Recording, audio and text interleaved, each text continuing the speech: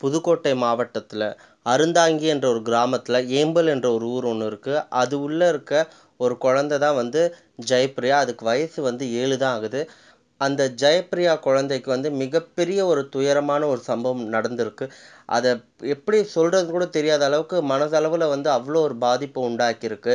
ஏன்னு பார்த்தீங்கன்னா அந்த குழந்தை வந்து வீட்டில் தான் இருந்திருக்கு. அந்த குழந்தை வந்து வெளியே விளையாட்டுருக்கும் போது அவங்களோட பேரண்ட்ஸ் வந்து வீட்டுக்குள்ளே இருந்திருக்காங்க. சரி குழந்தை வெளியே தானே விளையாடிட்டுருக்குன்னு ஃப்ரீயாக விட்டுட்ருக்காங்க. கொஞ்ச நேரத்துக்கு அப்புறம் குழந்தைய சரி கூப்பிடலாம் உள்ளன்னு சொல்லி வெளியே போய் பார்க்கும்போது குழந்தை அங்கே காணோம். அவங்க நினச்சிருக்காங்க சரி பக்கத்தில் தான் நம்ம சொந்தக்காரங்களாம் இருக்காங்க. அவங்க வீட்டில் போய் விளையாடுறா போல். சரி விளையாட்டு வருவான்னு சொல்லி விட்டுட்டு அவங்க வேலையை பார்த்துட்டு பார்த்துட்டு இருந்திருக்காங்க.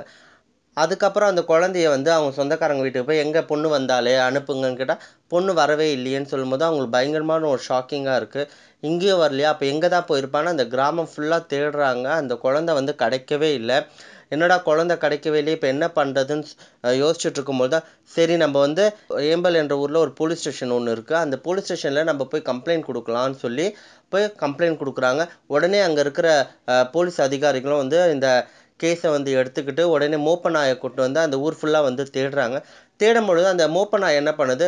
ஒரு பாலடைஞ்ச ஒரு குடிசை மாதிரி ஒன்று இருக்குது அந்த குடிசையில் போய் உட்காந்துட்டு வெளியே வரவே மாட்டேன்து என்னடா நாய் வரவே மாட்டேங்குது அப்போ இந்த ஏரியாக்குள்ளே தான் ஏதோ பிரச்சனை இருக்கும்னு சொல்லி அது சுற்றி இருக்கிற ஏரியா பார்த்தா அங்கே வந்து இந்த முள் பொதார்லாம் இருக்கும் இல்லையா கிராமத்து சைடில் அந்த இடத்துல வந்து அந்த குழந்தைய வந்து ரொம்ப என்ன சொல்கிற மிருகத்தனமாக அந்த குழந்தைய வந்து சித்திரவதை பண்ணி உடம்பெல்லாம் காயங்களோட ஒரு ஃபோட்டோ கூட எடுக்க முடியாத அளவுக்கு ஒரு துன்புறுத்தல் பண்ணி அந்த குழந்தைய வந்து சாவடிச்சு அங்கே போட்டு வச்சுருந்துருக்காங்க. இது அந்த ஃபேமிலிக்கு மட்டும் இல்லாமல் அந்த ஊரில் இருக்க எல்லாருக்குமே பயங்கரமான ஒரு ஷாக்கிங் இப்படி ஒரு சம்பவம் நடந்துருச்சு இவ்வளோண்டு குழந்தைக்குன்னு சொல்லி இது யார் பண்ணா யார் பண்ணான்னு கேட்கும் பொழுது அந்த ஏரியாவில் இருக்கிறவங்களாம் சில பேர் பார்த்துருக்காங்க. ராஜேஷ்னு ஒரு ஆள் வந்து இந்த குழந்தைய வந்து கூப்பிட்டு போனதை. அந்த ஆள் தான் வந்து இந்த குழந்தைய வந்து பாலியல் ரீதியாக வந்து பயன்படுத்திக்கிட்டு அது எங்கே உயிரோடு இருந்தால் சொல்லிடுமோன்னு அந்த குழந்தைய வந்து அடித்து சாவடிச்சு பிடிச்சி அந்த முள்ளு பொதாரில் வந்து போட்டுட்டு போயிட்டான்.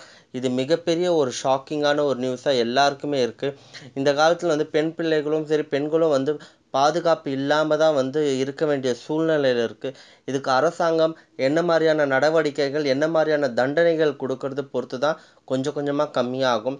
இதுக்காக நிறைய அவேர்னஸ்க்கான நிறைய படங்கள் கூட எடுக்கிறாங்க. இப்போ லேட்டஸ்ட்டாக வந்த புன்மகள் வந்தால் படத்துலையும் வந்து இதுதான் சொல்லியிருப்பாங்க. குழந்தைங்களை வந்து பாலியல் ரீதியாக வந்து பயன்படுத்துகிறாங்க அவங்கள வந்து பயன்படுத்தி சாவடிக்கிறாங்க. இதெல்லாம் வந்து பெரிய குற்றம். இந்த இதுக்கான தண்டனை வந்து சரிவர நம்ம நாட்டில் இல்லை அப்படின்னு சொல்லி ஆனால் இனிமேலும் வந்து கவர்மெண்ட் வந்து இதுக்கான ப்ராப்பர் ஆக்ஷன்ஸ் அதாவது அவங்களுக்கு அந்த மாதிரி குற்றம் பண்ணுறவங்களுக்கு ஒரு பெரிய தரப்பில் ஒரு தண்டனை அவங்க கொடுக்கல இமிடியட் ஆன ஒரு தண்டனை ஒன்று கொடுக்கலன்னா இந்த குற்றங்கள் இன்னும் தொடர்ந்துக்கிட்டே இருக்கும்னு கூட நம்ம சொல்லலாம். இந்த மாதிரியான ஆட்களுக்கு என்ன மாதிரி தண்டனை கொடுக்கணுன்றதை நீங்களே கமெண்ட் பாக்ஸில் கமெண்ட் பண்ணுங்கள்